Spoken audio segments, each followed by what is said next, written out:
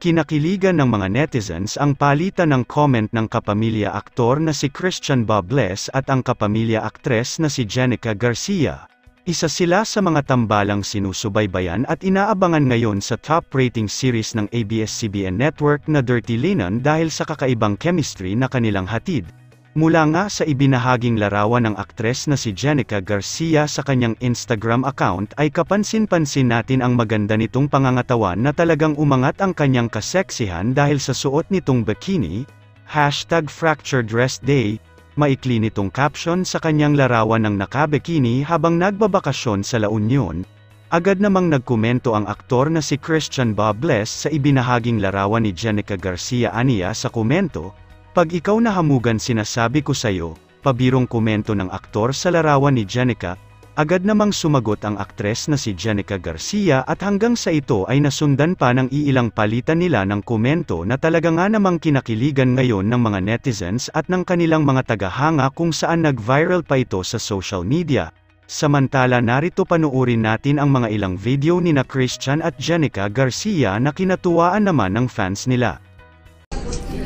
Hello! everybody! Ang pangit ko ngayon. Hindi.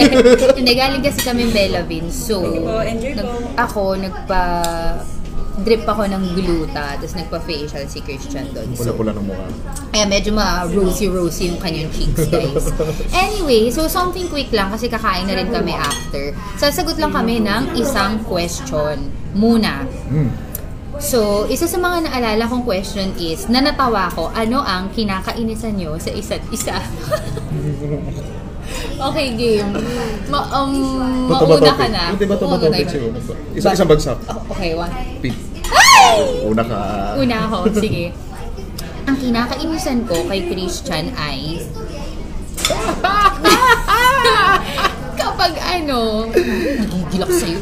Kapag ka ano, yung kapag ka nag-aaral ako, dun siya nang ngungulit.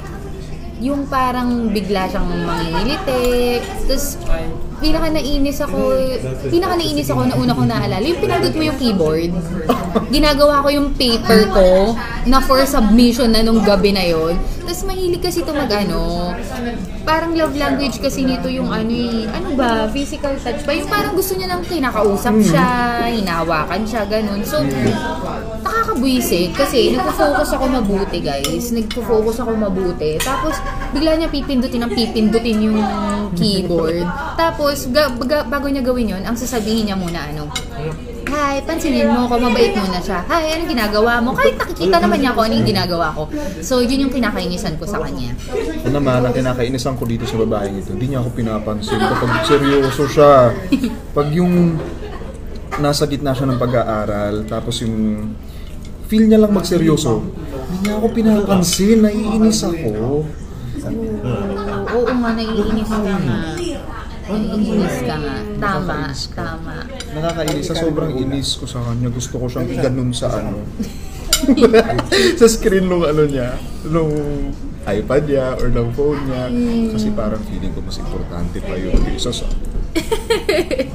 Yun. So, tama, meron kang ang ganong moment. Tsaka may, si Christian kasi ano siya, gusto niya pag kumakain siya, may kasabay siya kumain. So, kapag feeling niya wala siyang kasama, dun siya naggaganon-ganon. Anyway, guys, we're gonna go na because we're gonna eat. We're gonna show you. Cheddar! Doc Alvin of Belavin kasama namin. And si Sir Jeff. Ayan. O sige guys, bye-bye na kakain na kami. Love you. Love you guys!